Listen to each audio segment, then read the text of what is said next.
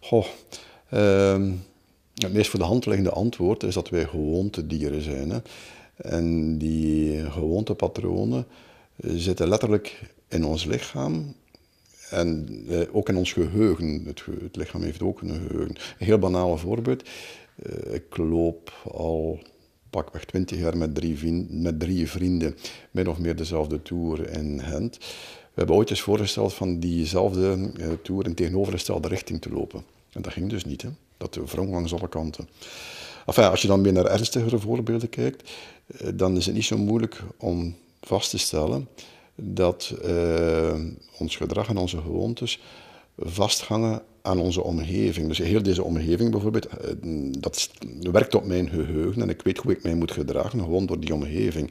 Veranderen van omgeving en dan kun je plots wel een aantal dingen veranderen. Zolang je in dezelfde omgeving blijft, is dat veel moeilijker, omdat die gewoontes getriggerd worden daardoor.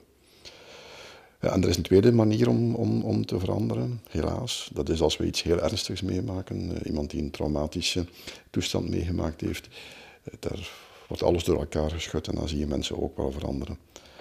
Maar het idee dat we kunnen uh, een aantal dingen wijzigen op grond van een rationele afweging, dat is vaak een illusie.